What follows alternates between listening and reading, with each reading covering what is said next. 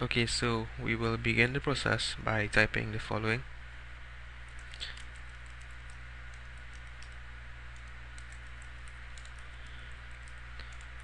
The name of the exploit, which may or may not work in your case, depending on the patch level of the system that they're trying to connect to. I'm going to set the payload, which will be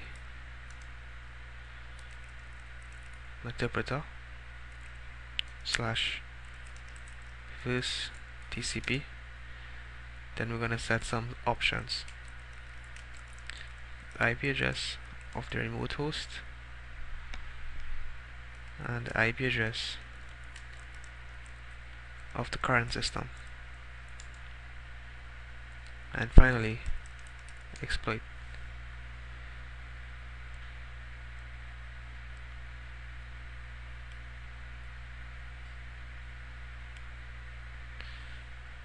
you can type help to see a list of commands then we can begin executing our functions. First we type ps to list the executables that are running. And we look for the explorer process which is running on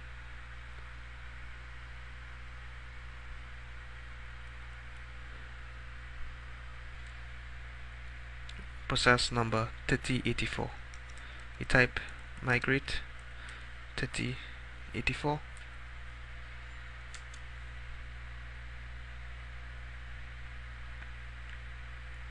and we can start our functions. Use ESPIA now I can show you a remote desktop of the system I will connect to the machine using remote desktop.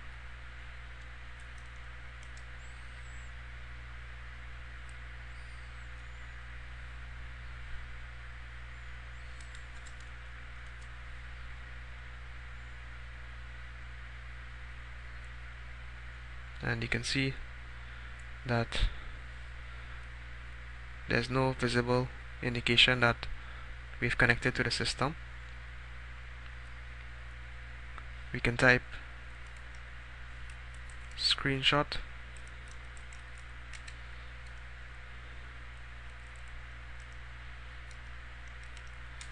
And what this will do it will attempt to get an image of the desktop to our machine.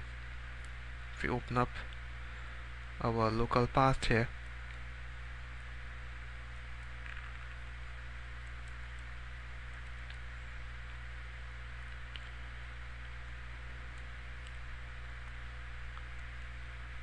we should see.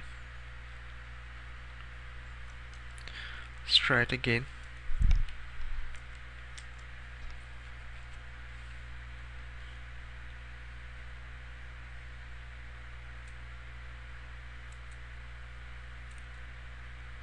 The reason why we're getting this is because we've connected to the machine via remote desktop. Remember this has to be a local session so I will close the remote desktop and pause the video and execute the command again. This time we should get something because we've logged on to the machine locally and not using RDP there we go. So you do need to access the machine locally the next thing we want to do is run a keylogger keyscan dot start. And we're going to attempt to enter some information onto the system.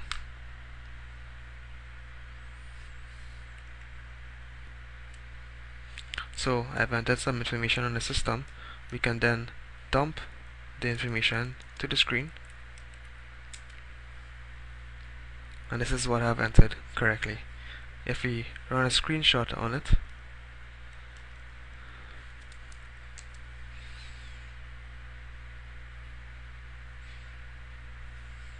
We can see what I did.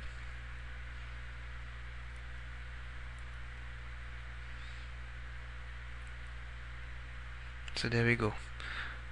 When I enter the URL and when I entered some information in the text box now if you're attempting to do this you may be unsuccessful the first time you run the exploit but you just need to maybe run back the exploit a second time if you fail to connect or you fail to get the interpreter prompt. So I hope this has been informative and I would like to thank you for viewing this tutorial